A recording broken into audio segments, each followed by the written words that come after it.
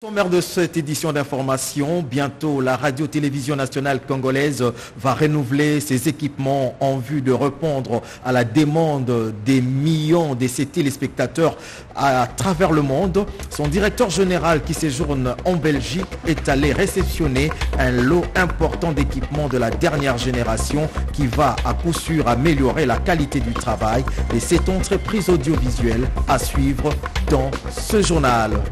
L'actualité, c'est aussi la ligne Kinshasa-Bandundouville qui s'étend sur 424 km de fibre optique abandonnée il y a 4 ans pour avoir connu des sectionnements qui viennent d'ailleurs d'être réhabilités.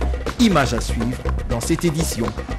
Après Béni, le gouverneur militaire de la province du Nord Kivu s'est rendu à Boutembo où il est allé compatir avec la population éprouvée suite aux manifestations meurtrières en Et ont secoué la ville de Boutembo.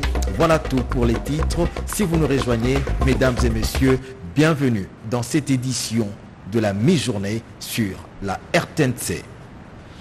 L'exploitation de nos ressources pétrolières devrait nous permettre de soutenir nos efforts de développement. L'une des phrases du discours du président de la République, Félix Antoine Tshisekedi Chilombo, qui présidait hier la cérémonie de lancement d'appel d'offres sur 27 blocs pétroliers et 3 gaziers. Le chef de l'État a également annoncé la construction d'une ou plusieurs raffineries de pétrole en RDC. On fait le point avec Pierre Kibambé. Somwe Issa.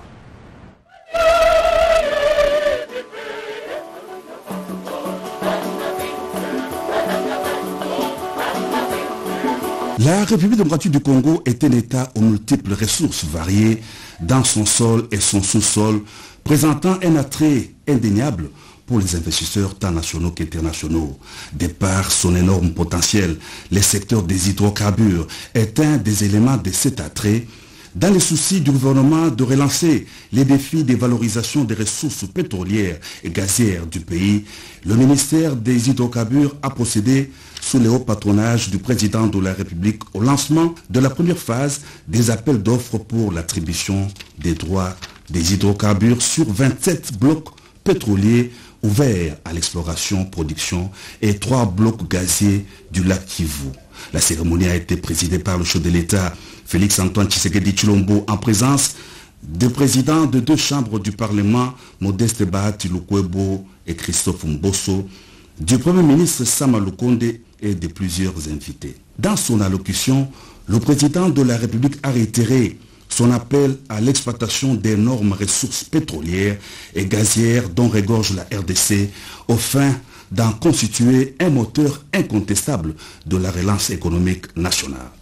Tel que j'ai eu à l'évoquer au cours de mes différentes euh, prises de parole, nous ne devrions plus nous contenter de célébrer indéfiniment le potentiel en ressources naturelles dont est doté notre pays.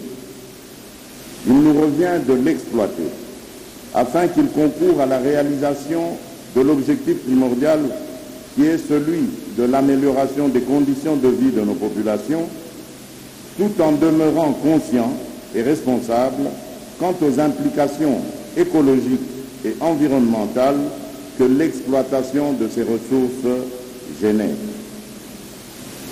À cet égard, il est impérieux d'appliquer les dispositions de la loi de 2015 ainsi que le décret de 2016 qui régissent le secteur des hydrocarbures en République démocratique du Congo et qui définissent les conditions d'octroi des permis requis pour l'exploration, l'exploitation de nos ressources pétrolières et gazières.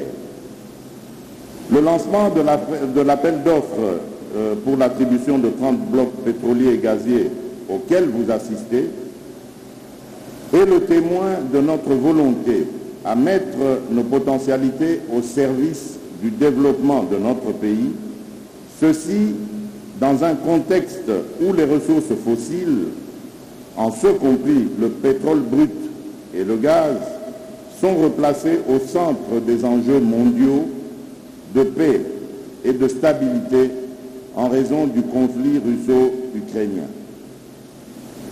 En effet, il me revient de rappeler que l'exploitation pétrolière qui a démarré dans notre pays en 1974 en offshore et en 1983 en onshore est restée confinée sans raison au bassin côtier du littoral atlantique, donnant aujourd'hui une production modeste d'environ 23 000 barils par jour, alors que 85% du potentiel en hydrocarbures du pays reste inexploré et inexploité.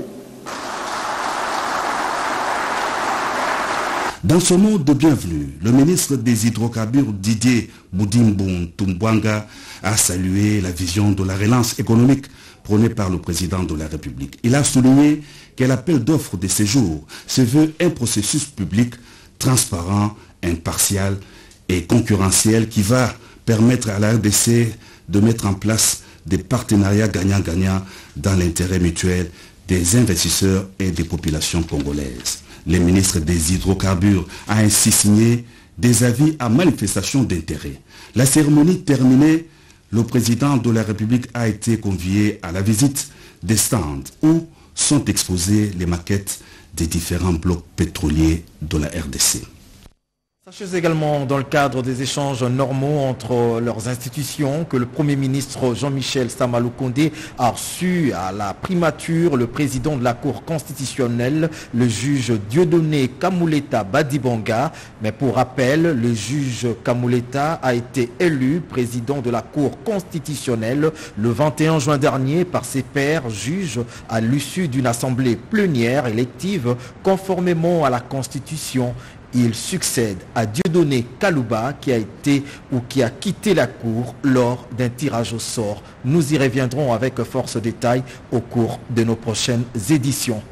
Je le disais en titre de ce journal, la RTNC, Radio-Télévision Nationale Congolaise, vient d'acquérir des équipements radio-TV de dernière génération. Il s'agit des régies mobiles, des quarts de reportage, des équipements, des mixeurs audio et vidéo, des valises satellitaires, des faisceaux hertziens. Le directeur général de la RTNC, Belide Bunga, qui séjourne en Belgique, a réceptionné officiellement ces équipements auprès du partenaire Studiotech. On écoute le DG de la RTNC. Nous sommes venus en, Belgique euh, pour prendre contact avec notre partenaire Studiotech. Vous savez que nous avons un ambitieux programme euh, d'équipement de la RTNC. Euh, du point de vue de la basse fréquence, même de la haute fréquence, il fallait que nous puissions venir visiter notre partenaire, voir sa capacité, ses potentiels, n'est-ce pas, en ce qui concerne euh, les équipements hein, audiovisuels et de manière à ce que nous puissions vraiment être confirmés dans notre intention de pouvoir cheminer ensemble. Les derniers équipements datent depuis 10 ans, donc euh, 2010. Alors c'est dans l'audiovisuel, c'est vraiment grave, hein, c'est grave. Alors ce qui explique justement la qualité des images et ce qui explique aussi cette euh, détermination du gouvernement conduit par euh, le président Félix Tshisekedi et le Premier ministre Samal Kondé. Et ce gouvernement est déterminé justement de redorer le blason de la PNC en l'équipant tout point de vue pour que justement nous puissions changer la vie. La RTNC est un partenaire de longue date.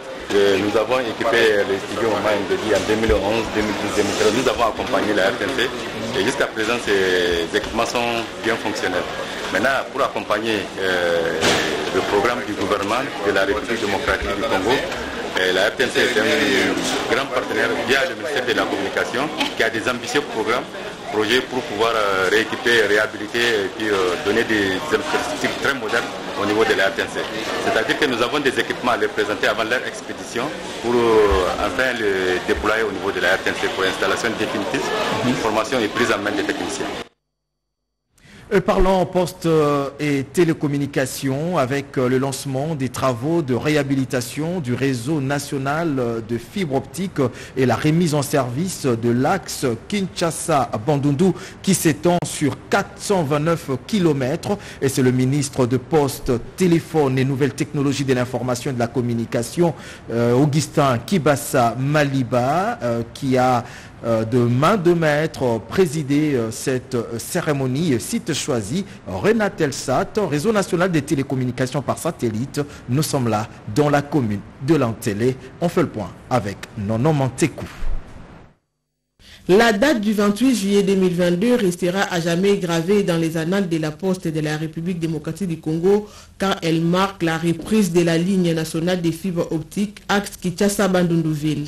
Et c'est grâce aux efforts du ministre des Postes et Télécommunications et Nouvelles Technologies de l'Information et de la Communication, Augustin Kibasa Maliba, a dit le directeur général de la Société congolaise des Postes et Télécommunications, Didier Mousseti. Excellence, Monsieur le ministre, les agents de la SCPT me mandatent ce jour à vous dire merci.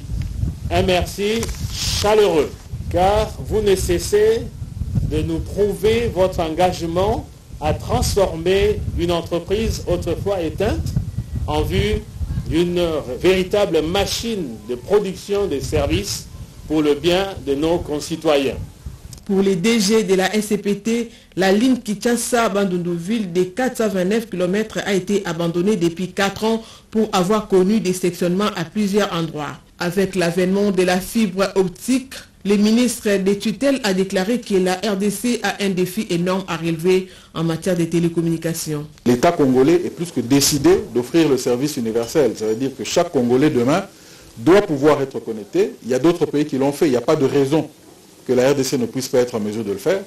Et je crois que le dynamisme qui accompagne notre société de télécom, la vision du président de la République, l'engagement du gouvernement Samaloukonde ferait en sorte que demain, effectivement, nous allons pouvoir développer sérieusement ce secteur. Augustin Kibasa Maliba a rassuré les agents de la SCPT de son accompagnement pour hisser haut l'étendard de la poste congolaise. Après les manifestations meurtrières anti-MONUSCO qui ont secoué la ville de Boutembo, le lieutenant-général Ndima Constant, euh, gouverneur euh, de la province du Nord Kivu, est arrivé le mercredi dernier dans la ville immédiatement. Il est allé compatir avec la population, éprouver et réconforter les blessés et les contingents de la MONUSCO. Regardez. Au centre de Mubambiro, à proximité de la cité de Sake, dans la chefferie de Barundi, en territoire de Massissi, ont décidé depuis tôt le matin de ce jeudi 28 juillet 2022 de retourner chacun dans son milieu d'origine. Ils disent demeurer jusqu'à présent dans une confusion totale en attendant impatiemment leur réinsertion, surtout qu'ils détiennent déjà chacun la carte de démobilisation. Ils dénoncent une sorte de découragement dont ils seraient victimes. Quelques-uns ont pris la direction de l'axe Massissi avec leurs épouses et enfants, selon le constat. Et ils confirment aller s'adonner à d'autres activités pour l'assurance de leur survie. Nous voulons qu'ils nous remettent nos kits de réinsertion. Nous souffrons ici. Ils ont principalement déploré les conditions inhumaines dans lesquelles ils vivaient, entre autres les mauvaises conditions de logement, d'alimentation pour ne citer que cela, alors que leur souci est de voir le processus toucher à sa fin. Ça fait cinq ans que nous sommes ici et bientôt la sixième année. Qu'allons-nous devenir si le gouvernement peut nous retourner à l'école? À noter que ce déficit d'encadrement risque d'influer négativement sur la sensibilisation de ceux qui traînent encore dans la brousse, soutient le représentant de ces rendus. Signalons que ces rendus viennent de totaliser 5 cas regroupés dans le centre de démobilisation selon leur dit.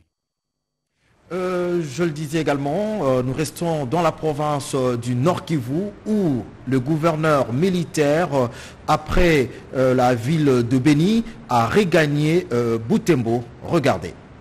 En vie humaine, à la suite des manifestations anti-MONUSCO du mardi 26 juillet 2022, le lieutenant général Constant Dima Kanga gouverneur militaire de la province du Nord Kivu, est arrivé ce mercredi 27 juillet à Boutembo, compatir avec les familles éprouvées et réconforter les blessés. nous avions suivi de près tout ce qui s'est passé ici à Boutembo. Nous avons déploré le dégâts importants en matériel et en vies humaines, que ce soit parmi notre population et que ce soit parmi les casques bleus. Aussitôt arrivé, le général Ndima est allé réconforter les blessés admis au centre hospitalier de Matanda. Ici, il a pris en charge tous les frais d'hospitalisation. Nous avons reçu depuis hier, c'était 25 blessés et hier, c'était 8 corps, ça vit donc 8 décès. Et le matin, venait de nous amener un autre à provenance de l'hôpital de Kitatumba. Il a succombé aussi de ses blessures d'hier. La deuxième visite de réconfort a été réservée au contingent de la MONUSCO de Boutembo, victime des attaques des euh, Maïmaï infiltrés parmi les manifestants. Lors de la réunion du comité urbain de sécurité, le gouverneur militaire a instruit les forces de l'ordre et de sécurité de mettre hors d'état de nuire tous les pêcheurs en eau trouble et de les déférer devant les juridictions compétentes.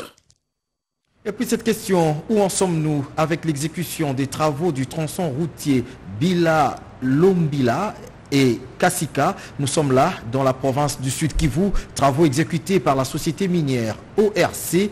L'objectif est de rendre fluide la circulation entre deux villes, entendez Kamintuga et Bukavu. Regardez. Les travaux de sécurisation de l'effondrement de la chaussée au niveau de Kambouloulou sur la RN2 accès routier Bukavu-Goma au point kilométrique 90 ont pris fin le samedi 16 juillet. Prévu pour 90 jours, ces travaux ont été exécutés par l'Office des routes dans 45 jours à la satisfaction des usagers et du bureau technique de contrôle BTC qui assure la mission de contrôle, a dit l'ingénieur Roger Kimpanga de la BTC Sud Kivu. Et voilà qu'aujourd'hui, ils seront à terme de, ce qu'ils sont appelés à faire. Tout est bien fait, balisé et tout ça. L'Office des routes a construit des murs de soutènement, la pose d'une buse, la construction de la glissière et autres travaux connexes. Les usagers apprécient la qualité de l'ouvrage d'art qui confirme la technicité de l'Office des routes et ses ingénieurs bloqués par manque de moyens et les matériels en dépassement d'âge. Avec les balises de protection posées sur un mur de soutènement long de 50 mètres sur 5 mètres de hauteur, les engins passent maintenant en toute sécurité contrairement aux jours antérieurs. L'ingénieur Confiance Itana, conducteur des travaux de l'Office des routes et Sud Kivu, alerte sur la dégradation très avancée de plusieurs tronçons routiers de la RN2 entre Nyabibwe et Minova. Il sollicite l'intervention du gouvernement pour que l'Office des routes remplisse ses missions. Les autorités continuent toujours à nous faire confiance et on nous donne des moyens. Nous allons évoluer toujours travailler comme il faut. Les travaux anti-érosifs effectués au point kilométrique 90, 97, 98 et 101 chez les Français ont été financés par le gouvernement central à travers les fonds nationaux d'entretien routier, FONER, dans le programme d'entretien routier PR 2021. Venez les suivre après l'effondrement qui s'est produit sur le tronçon routier axe Bukavu-Kamituga, l'Office des routes Sud Kivu qui vient de procéder à la stabilisation de la route nationale numéro D grâce au financement du gouvernement central à travers le FONER, le Fonds d'entretien routier.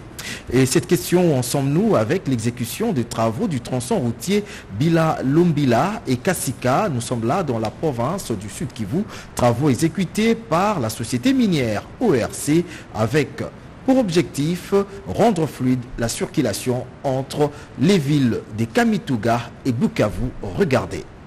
Dans le souci de rendre fluide la circulation entre la ville de Bukavu et celle de Kamituga en territoire de Mwenga, la société minière ORC exécute des travaux d'urgence sur les tronçons routiers en mauvais état entre Bilalombili et Kasika. Ces travaux sont exécutés dans le cadre du respect du cahier des charges entre la population de Mwenga et ORC conformément aux exigences du code minier de la République démocratique du Congo. Cette entreprise exploite de l'or dans la chefferie de Wamuzimu. Elle travaille en intelligence avec l'office des Sud Kivu sur instruction du gouvernement provincial. Le gouverneur des provinces Teongwa Bijekasi met en application des instructions de sa hiérarchie pour le bonheur de sa population. En attendant d'autres orientations, l'ORC, sous l'aide de l'office des routes de Sud Kivu, intervient urgemment dans des points chauds à la satisfaction des usagers. Les travaux que les Chinois viennent de faire, les travaux, c'est comme, c'est comme s'il y a une motivation. Nous avons besoin de maintenance à cette route. Bourbier de Bilalombili qui compliquait les usagers pendant la période pluvieuse a été supprimée par l'enrochement au moyen des grosses pierres et matériaux des carrières des Bougambi le samedi 23 et dimanche 24 juillet. Certains usagers de ces tronçons routiers ont félicité l'ORC pour les travaux en cours. D'autres conseillent à cette entreprise de reculer jusqu'à Boaungu en maîtrisant des éboulements de terre et la suppression des bourbiers en gestation. L'ORC rassure la population de Mwenga de répondre à toutes les recommandations du cahier de charge. Cap dans la province de l'Itourie où la lauréate du prix humanitaire Aurora 2021 se félicite des avancées significatives de l'état de siège dans la restauration de la paix. Reportage. Acharnée pour les femmes victimes de violences sexuelles, ne de marquer les esprits à travers le monde. Madame Julienne Lusengue a été reçue par le vice-gouverneur d'Editouri, le commissaire divisionnaire Benjamin Longaboni dans son cabinet de travail en vue d'échanger sur les différentes activités réalisées en Ituri en faveur de personnes vulnérables grâce au fonds du prix Aurora. Je suis venue aussi informer par rapport au prix que j'ai reçu l'année dernière, j'avais déjà informé, mais je suis venue euh, informer sur les activités qui vont être réalisées autour de ce prix. Parce que le prix Aurora humanitaire international a été euh, accompagné d'un fonds pour réaliser quelques activités humanitaires. Julienne Lusengue, activiste des droits de la femme, n'est pas restée indifférente face aux avancées sécuritaires réalisées par l'état de siège initié par le président de la République, Félix Antoine Tshisekedi Chilombo, sous l'œil vigilant du gouverneur militaire, le lieutenant général Luboyaka Chamajoni. Il est donc temps pour que tout le monde mette sa main dans la pâte pour construire une paix durable en Ituri. La paix viendra par nous, les membres des communautés, par les jeunes, par toute personne. Chaque personne, chaque Congolais, chaque Iturien doit mettre sa main dans la pâte pour restaurer la paix. Notant qu'au cours de son séjour en Ituri, la présidente de la Sofepadi va exécuter plusieurs activités, notamment la remise des forages d'eau construits pour les déplacés, la prise en charge médicale de 200 femmes victimes des conflits, la scolarisation des vieux enfants orphelins de guerre, l'assistance de l'Oferlina de Fataki, déplacée à Bounia, pour ne citer que cela. C'est à partir de la ville de, de que les travaux de réhabilitation et de l'assainissement des routes ont été lancés par le gouverneur du Sankourou, Jules Lodi, qui tient à booster les activités économiques locales. Commentaire Iverson Kabwaba. Après le lancement des travaux de réhabilitation de routes d'intérêt provincial, le gouverneur Gilles Lodier Mongo a lancé les travaux de Sankourou Bopeto à partir de la ville de Lusambo devant les autorités provinciales et la population, tous mobilisés pour accompagner le chef de l'exécutif provincial dans la matérialisation de la vision du chef de l'État axée sur le développement des entités territoriales. Bien avant ce lancement des travaux d'assainissement, le gouverneur Gilles Lodi s'est entretenu avec la population sur la réforme des développements amorcés par les chefs de l'État qui placent les intérêts du peuple en première position. Gilles Lodi a également poussé sa population à la consommation locale, une politique qui vise le renforcement de l'économie locale. L'assainissement est un facteur important de notre développement, mais aussi un facteur aussi extrêmement important de notre santé. Mais cela s'inscrit essentiellement dans le programme du chef de l'État qui veut qu'on ait non seulement l'enseignement de base, qui est non seulement obligatoire, mais gr- gratuit, mais qu'on ait ce qu'on appelle la couverture universelle sanitaire. Le chef des chantiers Gilles Lodi a remis les outils du travail en commençant par le président AI de l'Assemblée provinciale, l'honorable Frédéric Mukuna Nyombo, le membre de son gouvernement provincial et le maire de Lusambo. Un coup de pioche exécuté par tous les officiels à la place du triangle à la clôture de cette cérémonie. Puis ces communiqués émanant du ministère des Affaires sociales, Action humanitaire et solidarité euh, nationale euh, qui a suivi avec beaucoup euh, d'inquiétude la situation dramatique qui a prévalu ces dernières euh, 72 heures dans la partie est de notre pays, secouée par des manifestations violentes qui ont endeuillé la République démocratique du Congo et occasionné plusieurs blessés ainsi que des dégâts matériels importants, euh, tout en présentant ses condoléances aux familles éplorées et à la MONUSCO. Le ministère des Affaires euh, sociales, Action humanitaire et solidarité euh, nationale reste très préoccupé par ces contextes d'insécurité qui risquent, si l'on y prend garde, d'entraver le travail des acteurs humanitaires auprès de milliers de déplacés internes tant dans les sites d'hébergement que dans les familles d'accueil. À cet effet, il tient à rappeler aux autorités tant civiles que militaires, ainsi qu'à l'ensemble de la population du Nord Kivu et du Sud Kivu, euh, l'impérieuse nécessité d'assurer la sécurité des membres de la communauté humanitaire qui au péril de leur vie, abattent un travail des titans pour redorer les sourires à ceux qui ont perdu espoir. Le ministère des Affaires sociales, Action humanitaire et solidarité nationale tient à rassurer la communauté humanitaire de l'engagement du gouvernement de la République à tout mettre en œuvre pour faciliter leur travail et ce conformément aux, aux instruments du droit humanitaire international auxquels notre pays a adhéré, signé Moutinga Moutouchai Modeste, ministre des Affaires sociales, Action humanitaire et solidarité euh, nationale.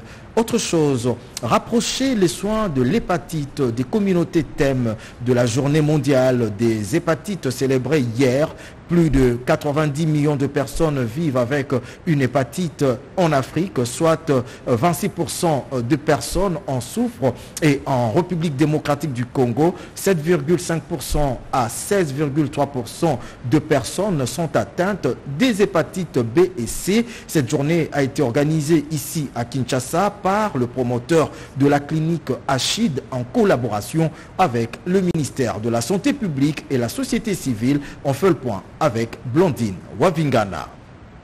Des personnes vivent avec une hépatite en Afrique, soit 26% des personnes souffrent de cette maladie à l'échelle mondiale. Selon l'OMS, cette pathologie qui tue en silence cause environ 125 000 décès en Afrique chaque année. C'est la suite à l'absence de symptômes qui souvent sont détectés en retard. Et à ces stades, il devient difficile pour les personnels soignants d'envisager un traitement adéquat. Conséquence, la personne trouve la mort. En République démocratique du Congo, par exemple, selon une étude menée dans différentes zones de santé de Kinshasa de 2020 à 2022, 7,5% à 16,3% des personnes sont atteintes des hépatites B et C. À Kinshasa, la célébration de cette journée mondiale a été organisée par les promoteurs de la clinique Astrid et coordonnateurs du projet pilote RDC Tokolonga Hépatite, les docteurs Pascal Chamala en collaboration avec les ministères de la Santé publique et la société civile. Pour lutter contre cette maladie en RDC, le docteur Chamala propose un certain nombre de pistes et de solutions, notamment la sensibilisation tous azimuts, la valorisation des zones de santé et la solidarité communautaire.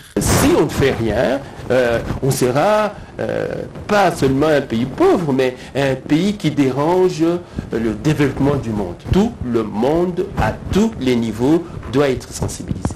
Présent à cette journée, l'OMS a encouragé la population au dépistage et au traitement une fois atteinte.